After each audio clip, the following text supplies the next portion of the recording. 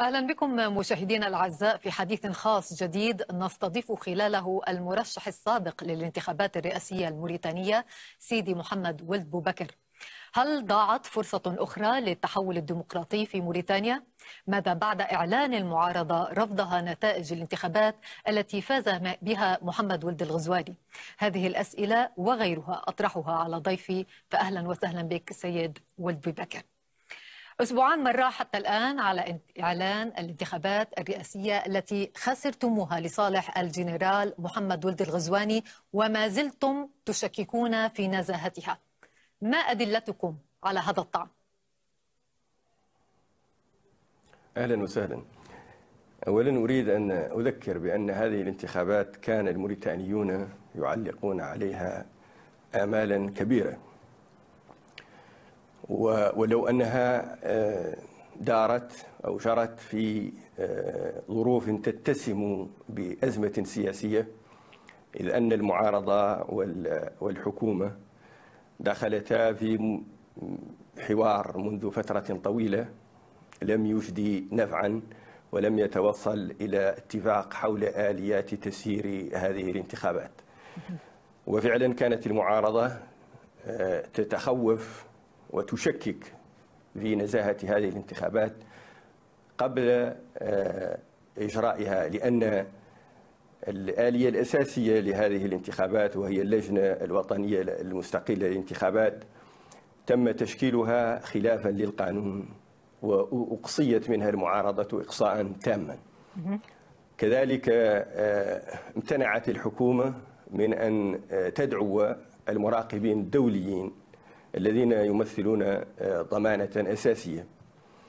وتم كان هناك بعثة للاتحاد الأوروبي لمراقبة الانتخابات الرئاسية سيد ولد بوبكر. وقالت إنها لم لا تسجل لا أي لا. خروقات لا آسف جدا. الاتحاد الأوروبي لم يبعث أي بعثة للمراقبة. وقد أسفنا لذلك لأن الحكومة لم توجه للاتحاد الأوروبي دعوة. في الحقيقة كانت الأنباء أن الاتحاد الأوروبي كان يضم عشرات المراقبين الأفارقة بالإضافة إلى مراقبين من معهد جيمي كارتر الأمريكي وأيضا خبراء من الاتحاد الأوروبي. لا لا. أنا آسف جدا لهذه المعلومات لأنها غير دقيقة. فعلا الاتحاد الإفريقي بعث أرسل بعثة لهذه الانتخابات ولكنها تعودنا على أن هذه البعثة لا تعبر عن عما جرى ولا معروفة أنها دائما تبارك هذا النوع من الانتخابات. أما الاتحاد الأوروبي وهو الذي كان في الانتخابات التي جرت في 2006 و2007 في الفترة 2006-2007 بعث طواقم كبيرة وكذلك المعاهد الأمريكية وشهدت آنذاك بشفافية الانتخابات أما الآن هذه لا الاتحاد الأوروبي ولا المعاهد الأمريكية لم ترسل بعثات لمراقبة الانتخابات. في موضوع إفصائكم عن لجنة عن اللجنة المستقلة للانتخابات ألم يكن من الأجدى القبول بتغيير أسماء المعارضين بعد أن وافق وزير الداخلية على أن يكون لديكم ثلاث أسماء في لجنة الانتخابات.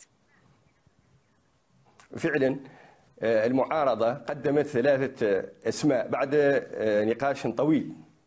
ولكن في نهاية المطاف اعترض وزير الداخلية على أحد هؤلاء الأعضاء.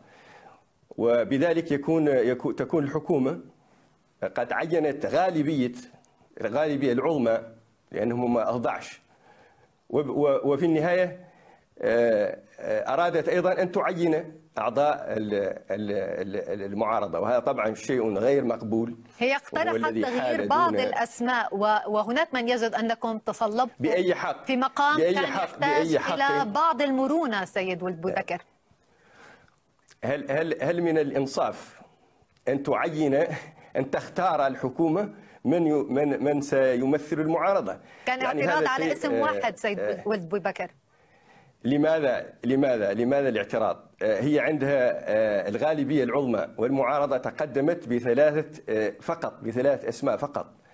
ورفضتها الحكومة لأنها قالت يجب أن تغيروا أحد هذه الأعضاء دون أن تبرر ذلك. إذا في الحقيقة الحكومة لم تترك مجالا للمعارضة لتشارك بالرغم من الرغبة التي كان عربت عنها المعارضة في ذلك. طب إذا كنتم فعلا توقعتم مبكرا حدوث تلاعب بالانتخابات لماذا إذا قبلتم بدخول لعبة أنتم متأكدون مسبقا عن عد... في عدم نزه... نزاهتها؟ نحن نحن عندنا موقف مبدئي هو المشاركة والاستفادة من أي مساحة حرية تتاح لنا. وذلك حتى نوضح ونبرهن للرأي العام الوطني والدولي على أن الحكومة غير جادة في مسعاها هذا. وحتى أيضا نكسب تجربة بالنسبة للبلد في المستقبل حتى يتجنب هذا النوع من المسارات الأحادية التي تتحكم فيها الحكومة في البداية وفي النهاية. ولكن ولكن الآليات حتى الآليات بعد بعد كل هذا لم لن تتوقف عند هذا الحد. فالحكومة شكلت مكاتب رؤساء وأعضاء مكاتب التصويت على هواها. في وعند وفي مسار الانتخابات وعند الاقتراع يوم الاقتراع أيضا لاحظ الجميع الخروقات والتجاوزات الكبيرة. وطرد ممثلي المعارضة والتصويت المتكرر وملء الصناديق في عدد كبير يفوق 450 مكتب. وبالتالي فالكل يشهد اليوم بأن هذه الانتخابات شابتها شابه من التزوير ما شابه لكن المجلس الدستوري لم يقتنع بهذه الحيثيات لا تعبر عن إرادة فهذه النتائج لا تعبر عن إرادة الشعب الموريتاني. ولكن المجلس الدستوري لم يقتنع بهذه الحيثيات التي ذكرتها سيد ولد بكر. المجلس الدستوري لم يكلف نفسه عناء النظر في الطعون التي تقدمنا بها. أنا تقدمت شخصيا بعريضة تفصيلية ضمنتها البراهين والأدلة الدامغة على حدوث هذه التجاوزات وهذه الخروقات. ولكن المجلس الدستوري رغم أنه تسلمها فإنه لم لم ينظر فيها. هو قال إنها إنه درسها نقطة نقطة ولكن وجد أنها ليست أدلة حقيقية وجوهرية تبعث على إلغاء النتائج. آسف يا سيدتي أنا أنا شخصيا عدا المرشحين الآخرين تقدمت أولا بعريضة وذكرت فيها أني سأتقدم في اليوم الموالي بعريضة تفصيلية ضمنتها الأدلة والمحاضر والأرقام ولكن المجلس لم ينظر فيها رغم أنه تسلمها رسميا. لم ينظر إلا في العريضة الأولى واستبعد الثانية استبعادا غير مفهوم. في مقابل كل هذا التشكيك سيد ولد بكر بنزاهة العملية الانتخابية لماذا لا تفكرون بأسباب أخرى للخسارة؟ كضعف أداء المعارضة مثلا وضعف علاقتها بالقواعد الانتخابية. من من من من تابع هذه الانتخابات ورأى الإقبال الكبير على المهرجانات التي عقدنا والتي عقدت شخصيا في جميع عواصم الولايات وفي نواكشوط. من رأى هذا الإقبال لا يمكن أن يشكك في وزن الوزن الانتخابي لهذه الحملة. وبالتالي فالإقبال على هذا المشروع الذي قدمت للموريتانيين لاقى هذا المشروع لاقى إقبالا كبيرا من الموريتانيين من من مختلف من مختلف المناطق. لأنه كان مشروعا مجتمعيا جامعا. ينبذ التطرف وينبذ التزلف ويدعو إلى الوحدة. ولذلك فهؤلاء الناخبون الذين صوتوا لي هم من جميع أعراق موريتانيا ومن جميع جهات موريتانيا ومن جميع أعمار موريتانيا. وكان الشباب في مقدمتهم.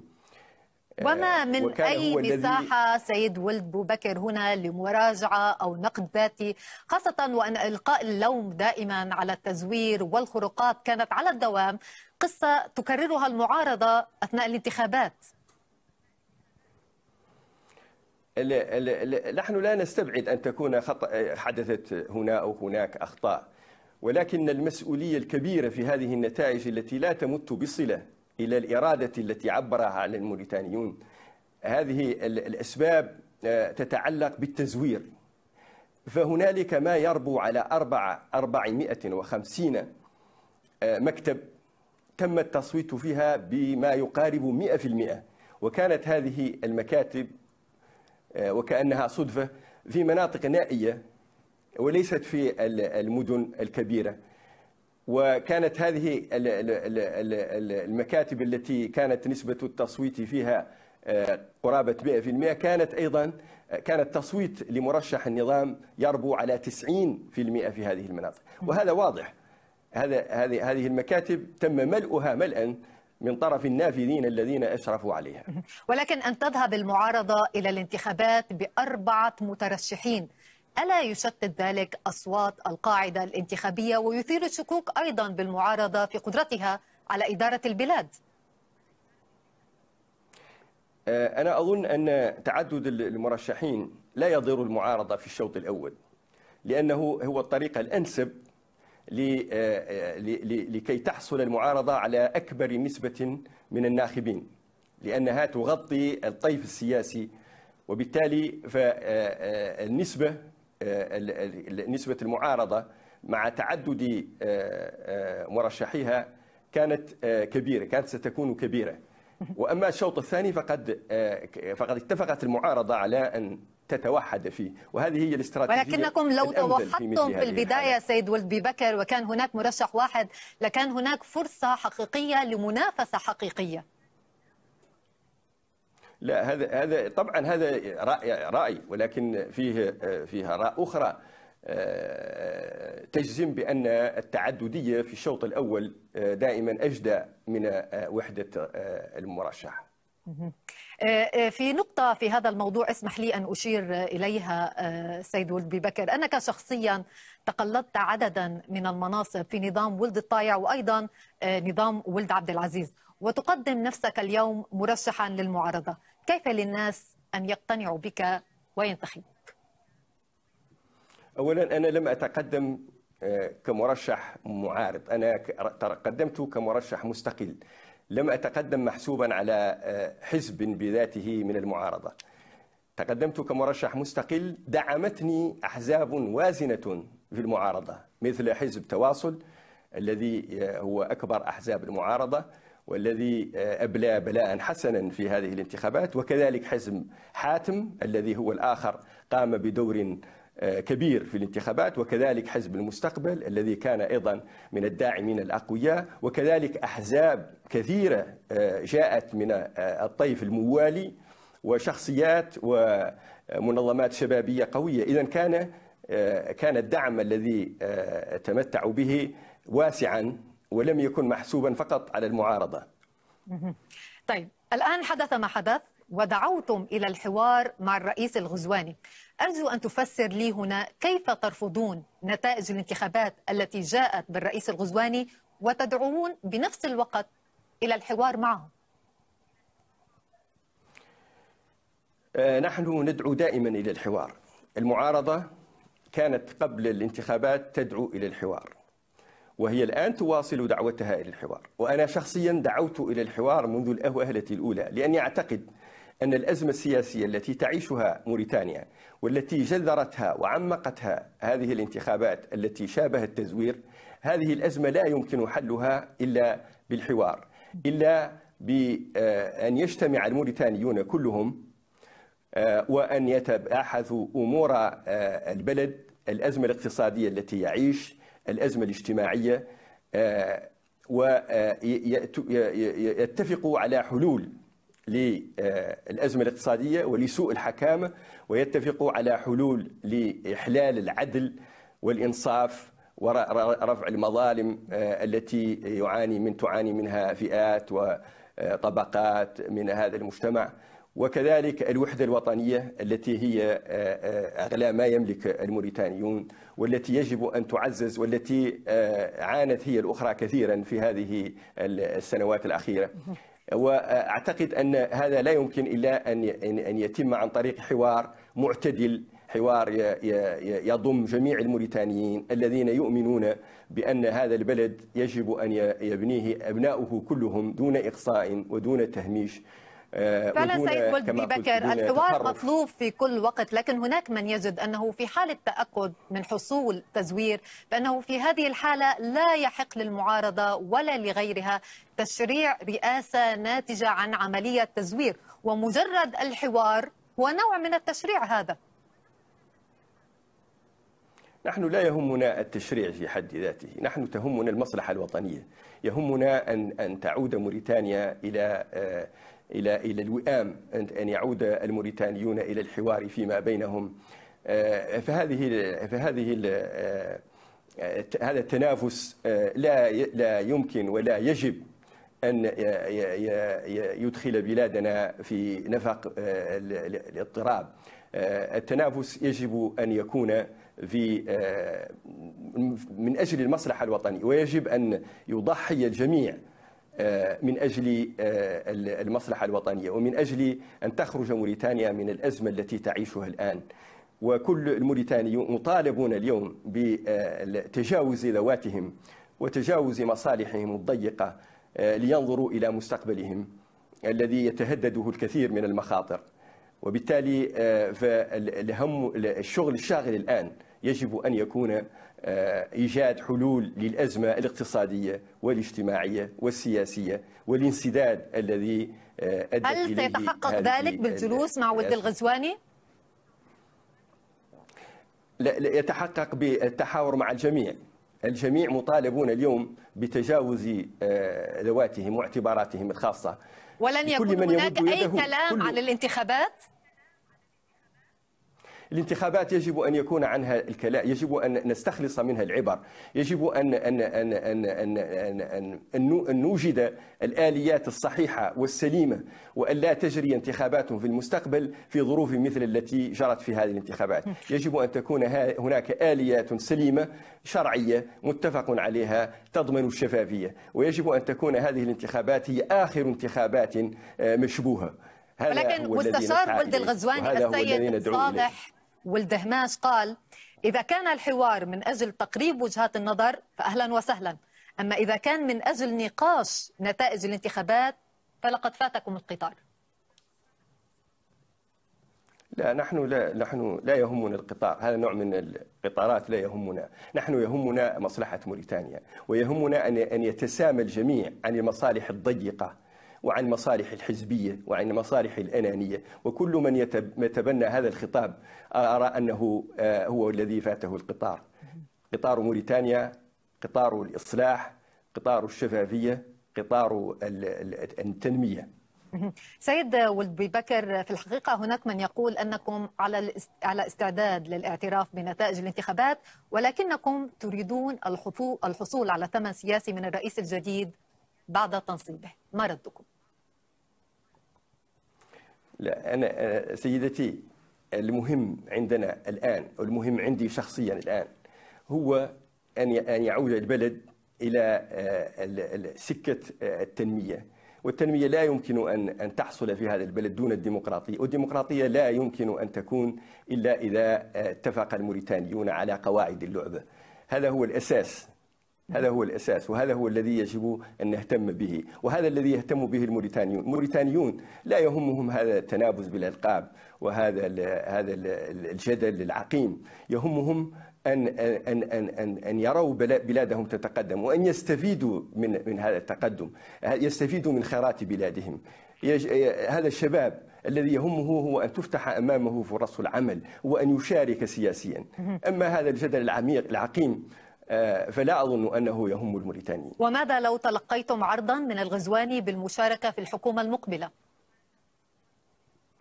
مشكلة الحكومة لا ليست هي الأساس. الحكومة آه، لا أحد هدفه آه، الدخول في حكومة أيا كانت. المهم هو أن نتفق على طريقة إخراج بلادنا من الأزمة الحالية. ولكن لم تحدد موقفا. هل ستوافق إن فعلا اقترح عليك أو عرض عليك المشاركة في الحكومة سيد ولدي بكر؟ الأمر غير وارد الآن؟ أعتبر أن الأمر غير وارد بالمرة الآن وليس من اهتمامات الدخول في أي حكومة. أنا اهتمامي الآن هو أن, أن نجتمع هو أن, أن الأحزاب السياسية والقوة والمجتمع المدني والقوة الوطنية الجميع يجب أن يحدد قواعد اللعبة من جديد وأن يضع الضمانات الأساسية لتسيير هذا البلد وضمانات الحكامة الرشيدة وضمانات محاربة الفساد الحقيقية والإنصاف والعدل بين أبناء هذا الوطن. هذا هو الذي يهمني. طيب لنخرج من هذه التفاصيل قليلا وما يكمن فيها من شياطين ربما نتحدث عما يسميه الموريتانيون بمكيدة الجنرالين. هل تعتقد أن الرئيس المنتهي ولايته ولد عبد العزيز قد دبر مكيدة لإحلال أحد رجاله وهو الغزواني؟ وما الذي يستفيده فعلا ولد عبد العزيز من هذه المكيدة بين هلالين؟ لا هذا هذا النوع أنا لا أخوض في مثل هذه الأحاديث لأني لا أظن أنها مهمة. شخصنه المواضيع لا, لا, تهمنا. نحن الذي يهمنا الآن هو مصلحة البلد هو التوجه العام لهذا البلد هو وضع قطيعة مع ممارسات الماضي. هذا هو الذي هو أما الأشخاص وعلاقاتهم فهذه أمور لا نأبه بها كثيرا. هناك من يقول أن موريتانيا أمام تجربة شبيهة بتجربة روسيا عندما قام الرئيس الروسي فلاديمير بوتين بالتخلي عن منصبه لديمتري ميدفيديف وتوليه رئاسة الحكومة. أليس هناك تشابه ما؟ لا أنا لا علم لي بهذه المواضيع هذه المواضيع تطرح على المعنيين هم أدرى بها أما أنا فلا علم لي بها طيب أي دور لولد عبد العزيز بها. في المرحلة القادمة في اعتقادك؟ أنا أعتقد أنه رئيس آه، أنهى ولاية ولايتيه التي آه، آه، التي يسمح له بهما الدستور وهو رئيس سابق ابتداء من تنصيب آه، الرئيس الجديد. ولن يكون له أي دور مستقبلي؟ هذا هذا شأن يعنيه هو هو الذي يحدد الدور الذي يقوم به. طيب آه، سيد ولد بكر إلى أي حد تعتقد الآن أن ما حدث وما يحدث هو فعلا محض موريتاني ولا ينطوي على أي أبعاد وتدخلات إقليمية؟ أنا أعتقد أن أن الأجواء الآن في موريتانيا آه، غريبة لأن لا لا أرى هناك أزمة آه، آه، أمنية لا إنما أرى أن هنا فيه أزمة سياسية يجب معالجتها بالأدوات والوسائل السياسية وهي كما قلت إجراء حوار بين الموريتانيين حتى يخرجوا من الأزمة وحتى يضعوا حدا للانسداد السياسي الذي تعيشه البلاد منذ فترة. وما من أي ارتباطات أو تدخلات إقليمية؟ لا علم لي بها أنا لا علم لي ب ولد الغزواني تلقى دعوة لزيارة السعودية بعد تنصيبه إلى ما يؤشر ذلك برأيك؟ علاقات بين موريتانيا والسعودية علاقات طيبة على مر التاريخ ليس في لا أرى في في الموضوع ما يثير الاستغراب طيب يحضرني هنا أيضا حقيقة هجوم الرئيس ولد عبد العزيز على قطر أثناء الانتخابات. وهو كما تعرف كان قد قطع العلاقات آه، آه، بين موريتانيا وقطر انحيازا لدول الحصار. ما الذي يجعله يطلق مثل هذه التصريحات أثناء ترويجه للحملة الانتخابية للغزواني لا هذا أمر يعني هو. أنا الذي أعرف أن موريتانيا يجب أن تكون عندها علاقات طيبة مع جميع أشقائها وأصدقائها وخاصة الأشقاء في الخليج الذين آه، تلقت منهم موريتانيا دعما كبيرا منذ آه، السنوات الأولى لاستقلالها ولها علاقات آه، ممتازة مع جميع هذه الدول الشقيقة. وهذا هو الذي يجب أن نركز عليه في المستقبل. واضح سيد ولد بكر أو هذا ما ألمسه هناك خطاب مهادن عكس أو يتناقض نوعا ما مع خطابك الذي سمعناه أثناء الانتخابات أو بعد آه، إعلان آه، نتائج الانتخابات ألا يشي ذلك بأن هناك ترتيبات أو صفقة من نوع ما ما بينكم وبين الحكومة المقبلة؟ لا أنا أنا خطابي لم يتغير أنا قلت إن إن بلادنا بحاجة إلى الإصلاح، إلى الإصلاح الاقتصادي، إلى الإصلاح السياسي، وقدمت برنامجا بهذا الخصوص. وقلت أنه يجب أن تكون هناك قطيعة تامة مع السنوات الماضية التي تميزت بكثير من بكثير من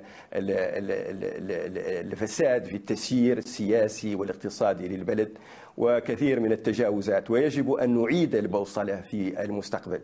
ولكن الذي أريد الآن هو أن ننظر إلى المستقبل. ننظر إلى ماذا سنقدم لبلادنا في هذه السنوات المقبلة وكيف نستطيع أن نتجاوز كيف يمكن الأزمة؟ أو التوصل إليه فعلا؟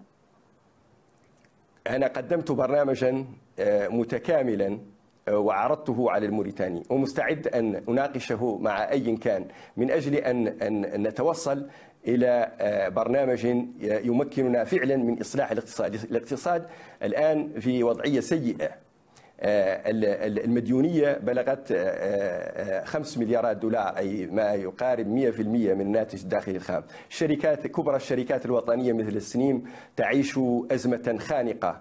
الضرائب بلغت حدا لا يطاق في هذا البلد حدا يطرد الاستثمارات.